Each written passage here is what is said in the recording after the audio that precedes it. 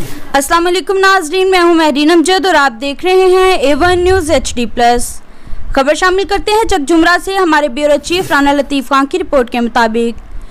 चकजुमरा थाना बलोचनी के एरिया में पार्कों का नॉन स्टॉप तेल चोरी। शेखुपुरा मेन रोड अड्डा जोहल सतानवे रेबे के गाँव की ज़मीन एरिया थाना बलोचनी में दर्जनों ऑयल चोरी करने के पर्चे हो चुके हैं। लेकिन तेल चोरी होना ना रुक सका। थाना बलोचनी को कॉल वसूल होने पर एएसआई मार असलम नफरी के साथ मौका पर पहुँचे। मौका वारदात की रिपोर्ट लेते हुए पार्कों के आला अफसरान और सिक्योरिटी सुपरवाइजर का नाम और फ़ोन नंबर दर्ज किए और कार्रवाई का आगाज़ शुरू कर दिया।